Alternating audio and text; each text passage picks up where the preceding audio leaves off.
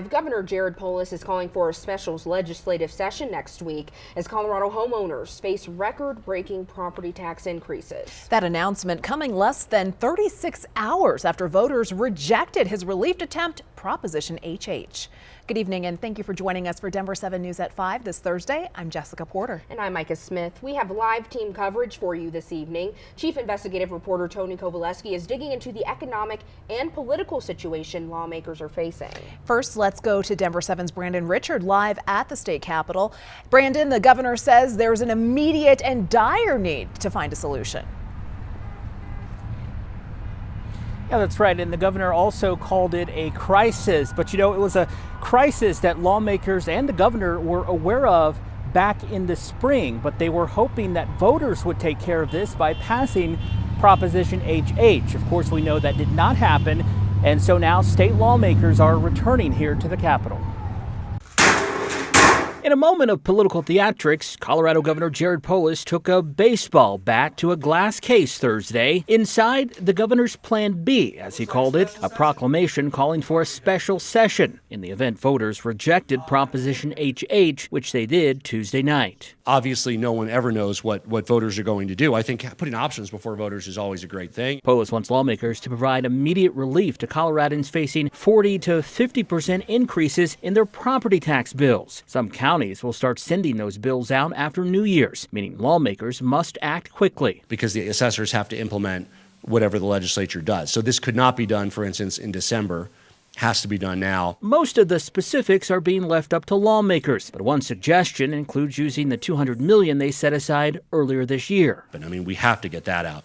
On top of that, there's ample opportunities, and I hope that they can agree on additional property tax relief. There's a real need. Republicans say it's about time the governor called lawmakers back. We have been calling for a special session since session ended in May um, because we knew this problem was looming. State Representative Rose Pugliese says she hopes Democrats consider the plans Republicans have offered, including reducing the state income tax. That would save people across the board, whether you're a property owner or not, uh, money and keep more money in the pockets of the people instead of giving it to government and then waiting for a refund. While property tax relief is the major focus of the special session, Polis also wants lawmakers to pass legislation to ensure 300,000 children will have access to a summer lunch program before a crucial federal deadline. And we want to pull people together to make sure that that gets done as well and that there is time to implement that uh, so that the Coloradans who need it most don't lose out. The special session convenes at 9 a.m. Friday, November 17th.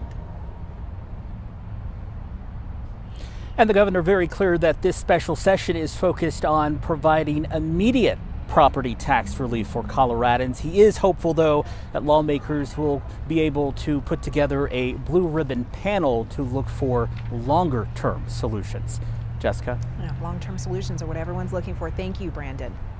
And let's bring in Chief Investigative Reporter Tony Kovaleski now. Yeah, at the news conference, Tony, you asked the governor if it was a mistake to keep Tabor out of the ballot language. What did he say? Well, Micah Jess, it's been a fascinating 48 hours, and let's begin by giving some credit to the governor. By all accounts, this was his most significant political defeat in our state, and he stepped up today. He responded quickly to voters, providing his analysis of what went wrong, and took several minutes to ask questions from reporters and answer questions. Now to your questions. Simply, the governor said Proposition HH was too confusing to voters. I gave him an opportunity to say, was it a mistake to keep the phrase using Tabor funds for that tax cut out of the ballot language? He didn't go that far. But he did say in the future, greater transparency in the language should be considered very interesting day. Yeah, Tony, this is about a potentially significant economic impact for everyone in the state. But let's also be clear here this special session is also about Democrats trying to prevent some backlash from voters. What are your so, uh, sources well, saying, Tony? Two key points there. In the simple answer, it's clearly about both. Without some sort of relief, the jacked up property values statewide will hit everyone in the pocketbook. That's homeowners and renters.